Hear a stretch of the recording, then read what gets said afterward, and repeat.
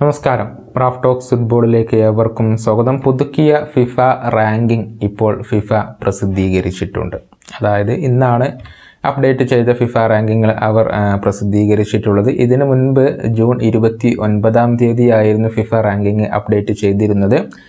ഇപ്പോൾ ആദ്യ പത്ത് സ്ഥാനങ്ങളിൽ മാറ്റമൊന്നും സംഭവിച്ചിട്ടില്ല. അർജന്റീന തന്നെയാണ് നമ്പർ വൺ ഒന്നാം സ്ഥാനത്തുള്ള അർജന്റീനയുടെ പോയിന്റ് സമ്പാദ്യം ആയിരത്തി എണ്ണൂറ്റി നാൽപ്പത്തി മൂന്ന് പോയിന്റ് എഴുപത്തി മൂന്ന് പോയിന്റാണ് ആണ് നമുക്കറിയാം ഈ ഒരു കാലയളവിൽ അതായത് ജൂൺ ഇരുപത്തി ഒൻപതിനും അതുപോലെ തന്നെ ജൂലൈ ഇരുപതിനും ഇടയിൽ മത്സരങ്ങൾ ഒന്നും ഈ ഒരു വലിയ ടീമുകളുടെ മത്സരങ്ങൾ ഒന്നും നടന്നിട്ടില്ല. അതുകൊണ്ട് തന്നെ ആദ്യ പത്ത് സ്ഥാനങ്ങളിൽ മാറ്റമൊന്നും സംഭവിച്ചിട്ടില്ല എന്നുള്ളതാണ് കഴിഞ്ഞ ഏപ്രിൽ മാസം അപ്ഡേറ്റ് ചെയ്ത സമയത്തായിരുന്നു ബ്രസീലിനെ പിന്തള്ളിക്കൊണ്ട് അർജന്റീന ഒന്നാം സ്ഥാനം കരസ്ഥമാക്കിയിരുന്നത്. ഇപ്പോഴും ആ ഒരു ഒന്നാം സ്ഥാനം ലോക ചാമ്പ്യന്മാരായ അർജന്റീനയുടെ പക്കലിൽ തന്നെയാണ്.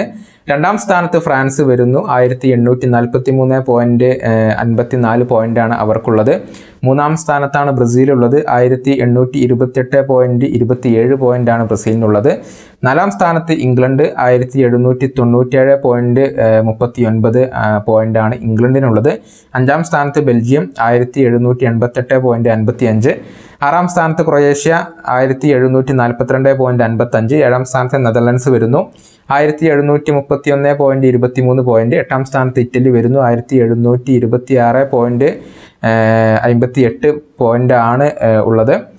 ഒൻപതാം സ്ഥാനത്ത് പോർച്ചുഗൽ ആയിരത്തി എഴുന്നൂറ്റി പതിനെട്ട് പോയിന്റ് ഇരുപത്തി അഞ്ച് പത്താം സ്ഥാനത്ത് സ്പെയിൻ വരുന്നു. ആയിരത്തി എഴുന്നൂറ്റി മൂന്ന് പോയിന്റ് നാൽപ്പത്തി അഞ്ച് പോയിന്റ് ആണ് ഇപ്പോൾ സ്പെയിനുള്ളത് ഇതാണ് ആദ്യ പത്ത് സ്ഥാനക്കാർ. അതേസമയം ഇന്ത്യ തങ്ങളുടെ ഒരു സ്ഥാനം മെച്ചപ്പെടുത്തിയിട്ടുണ്ട്. നൂറാം സ്ഥാനത്തായിരുന്നു ഇന്ത്യ ഉണ്ടായിരുന്നത്.